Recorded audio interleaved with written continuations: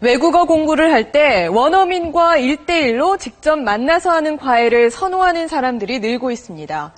이 외국인이 한국에서 영리 목적으로 개인 교습을 하는 건 불법입니다. 그런데 이렇게 외국인을 선호하다 보니 불법 체류자의 국적 세탁자까지 강사로 알선하는 업체가 기승을 부리고 있습니다. 기동 취재 노동규 기자입니다. 커피숍에서 한 직장인이 외국인 남성과 면담을 하고 있습니다. 개인 영어 교습을 위한 상담 자리입니다. 국적을 묻자 왜 울어? 당당하게 미국인이라고 답합니다. 그 영어 공부를 하려고 하는데 한국인 한국 안서 나 초반에 가르쳤어요. 자신이 미군 부대에서 군인 자녀도 가르치는 선생님이라고 자랑하는 사이 미군 부대 안에 군인 자녀들 네, 출입국 사무소 단속반이 들이닥쳐 이 외국인을 체포합니다.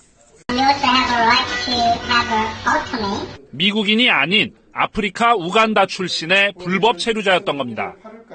지난 2004년 단기 비자로 입국해 불법 체류해온 MC는 여권과 각종 서류를 위조해 미국인 행세를 해가며 학원 출강까지 했습니다. because in Korea, you know, Americans uh, can get a job teaching jobs. In Korea, most people are familiar with American. 외국인이 한국에서 영리 목적 개인 교습을 하는 건 불법입니다. 그런데 일부 과외 업체들은 원어민 선호 심리를 노리고 마구잡이로 외국인을 끌어모아 과외를 알선하고 있습니다.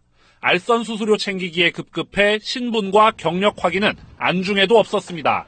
등록을 할 때 초대했었어요 저희를 비자는 문제가 없다고 원래는 이제 조회를 하는데 그런 거를 좀 확실하게 못한 문제 문제가 됐던 것 같아요 무자격 외국인을 알선하는 것 자체가 불법이라는 사실을 알면서도 상당수 업체들은 버젓이 영업을 하고 있습니다.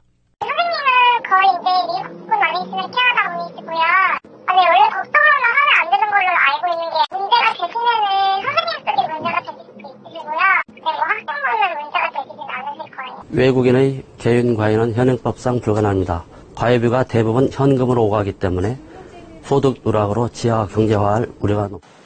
수원 출입국 사무소는 우간다인 MC를 구속하고 불법 체류자 등 무자격 외국인 강사 130명과 이들을 고용하고 과외를 알선한 업체 8곳을 입건했습니다. SBS 노동규입니다.